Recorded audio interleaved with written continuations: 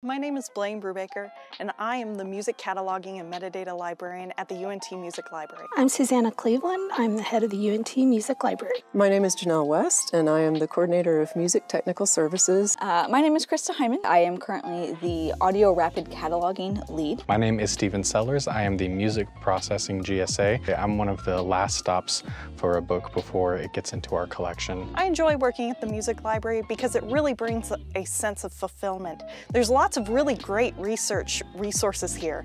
One of the big things that really drew me here were those resources. I love music history. Why I enjoy working at the Music Library is the sense of community between the staff and all of the student workers. The Music Library is a great place to work because it's a place that's giving back to the world and providing something that's really important. It just feels nice to be in an industry that is doing something really positive for the world.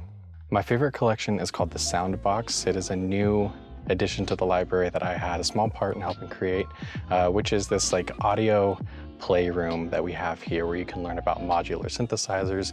And we have this incredible person on staff here that can teach you all about how to create sounds using synthesizers from the ground up. My favorite collection at the UNT Music Library is our video game music collection.